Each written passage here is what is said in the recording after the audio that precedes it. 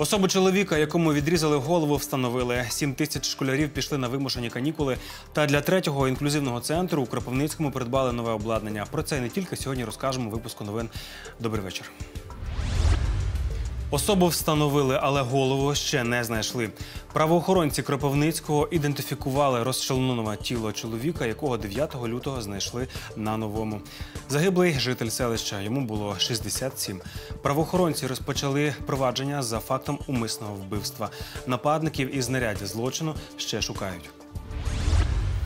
Дитина і пенсіонер втопилися на Кіровоградщині. Сталося це вчора у різних місцях області. Тіло 13-річного хлопчика з води рятувальники дістали у селі Ганівка Новоархангельського району. А от 71-річний чоловік провалився під лід в селі Созонівка Кропивницького. Обставини трагедії з'ясовують експерти. О 12.25 до служби порятунку надійшло повідомлення про нещасний випадок із громадянином 1949 року народження. А вже о 14.54 рятувальники 31-ї державної пожежно-рятувальної частини СМТ Новоархангельськ прибули, щоб вилучити із води тіло хлопчика 2007 року народження. Поштарку за крадіжку грошей судитимуть на Кіровоградщині. Жінка працювала у відділенні Укрпошти в Знам'янському районі. За 2019 рік вона привласнила майже 40 тисяч гривень.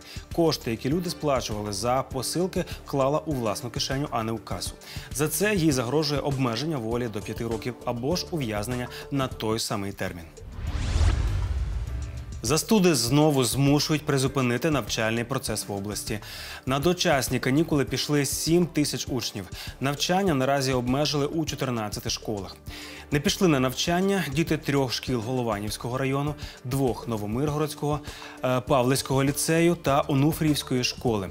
Учні Нечаївської школи, Компаніївського району та дві школи е, в Бобриницькому районі навчання розпочнуть уже завтра. Вимушені канікули в інших школах триватимуть до кінця тижня.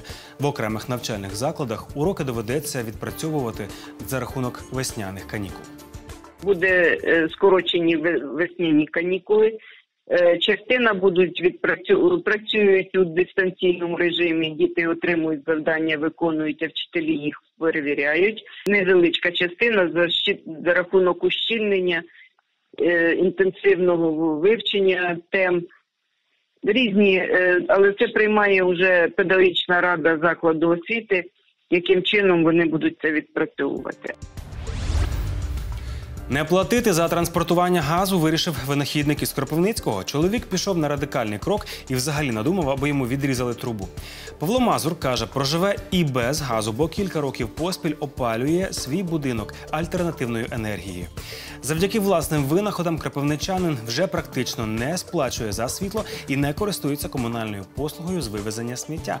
Про майже незалежного чоловіка Юлія Бабак розкаже.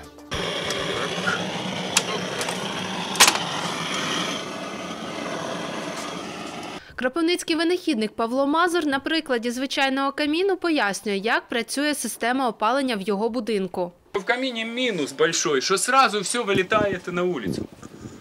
А здесь вот принцип разницы между этим. То есть все то же самое, можно сказать, только в больших размерах.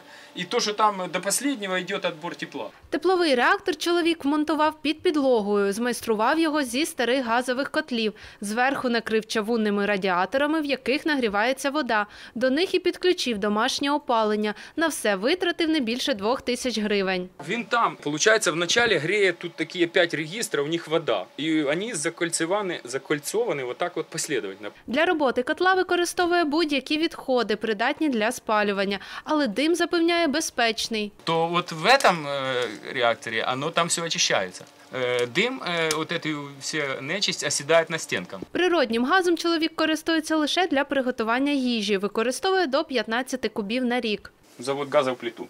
Централізоване газопостачання можна замінити на газовий балон, говорить винахідник, і його цілком вистачить. Тож, коли отримав платіжку за транспортування, замислився, аби цілком відмовитися від послуги. Вот это получил платежку, посмотрел, я думал, это шутка, ну как обычно шутят там в интернете, тут тут, тут собаки, там тут тут. Практично не користується Микола й електроенергією. Її бере від сонячних батарей, та й це не межа. Навесні винахідник планує запустити видобуток тепла з органічних відходів.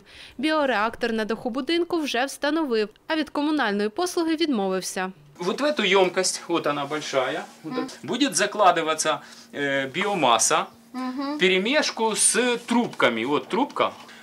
И потом несколько слоев, и все. І оно себе стоїть, починає грітися. Зекономлені на комірному кошти використовуватиме для подальших винаходів. Марія Тарасенко, Юлія Бабак, Валерій Клюєнко, телевізійні новини СІБІН. Обладнання на 250 тисяч гривень отримав третій інклюзивний центр у Кропивницькому. Кошти на нього виділили з державного бюджету.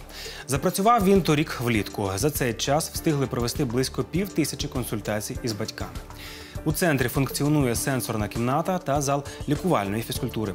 Тут щодня з дітьми займаються 10 фахівців. Нещодавно отримали інтерактивний килимок вартістю 140 тисяч гривень і смарт-панель за 110 тисяч гривень. Консультації, діагностика та заняття для дітей безкоштовні. грається і займається. Тобто це те, що сучасні діти розуміють. Яка користь цієї підлоги саме для дітей з особливими освітніми потребами? Тобто ви бачили ряд е, контенту, який саме спрямований на розвиток е, м, рухового апарату, е, потім е, уява, е, пам'ять, е, тому е, потім е, саме розвантаження психологічне, якщо ви бачили е, різні ігри, да, там з водичкою, із е, квіточками, тобто дитина під це е, забуває про всі негаразди. На цьому у нас все. Більше новин шукайте на нашому сайті. Всього найкращого.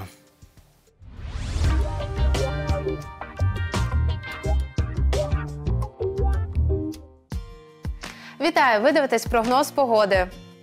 У четвер, 13 лютого, за даними синоптиків, очікується хмарна погода з проясненнями без суттєвих опадів. На дорогах ожеледиться. Вітер західного напрямку зі швидкістю 9-14 метрів на секунду. По області температура повітря в день становитиме від 0 до 5 градусів тепла, вночі від 4 градусів морозу до 1 градусу вище нуля. По місту в день очікуйте від 2 до 4 градусів із позначкою плюс. Вночі від 0 до 2 градусів морозу. Радіаційний фон по місту складатиме 13 мікрорентген на годину. Надалі переважатиме вітряна та порівняно тепла погода, тому суттєвих морозів очікувати не варто. До нової зустрічі! Залишайтеся з нами на телеканалі Вітер.